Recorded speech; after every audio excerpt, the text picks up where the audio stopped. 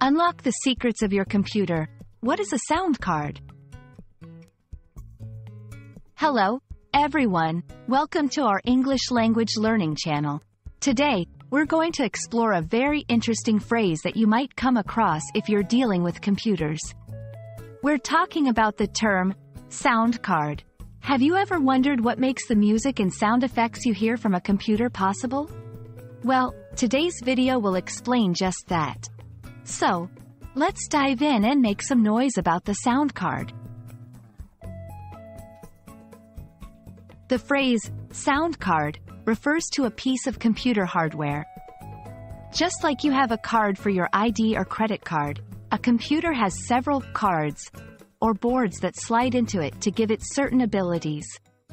A sound card is one that allows the computer to play audio sounds.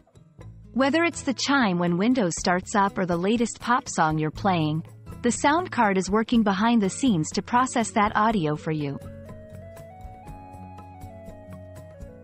When we talk about a sound card, we're referring to a device that can be either part of the computer's motherboard or an additional component that gets installed separately.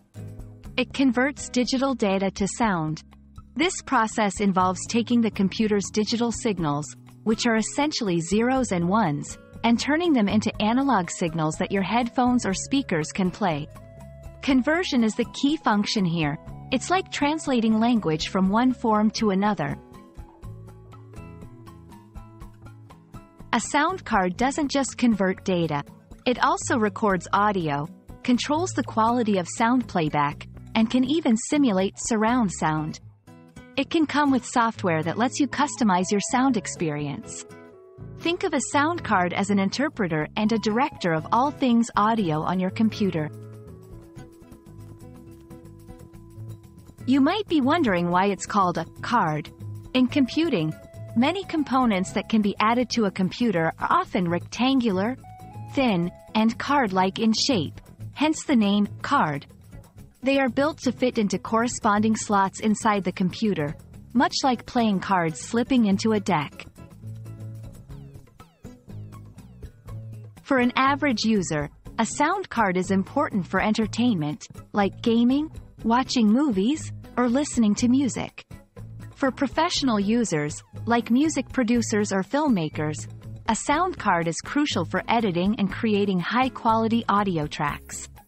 So, Depending on your use, the sound card can be a key feature of your computer setup.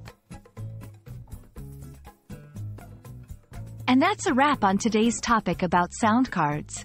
We hope this video has been informative and helps you understand a little bit more about how computers create the sounds we hear every day.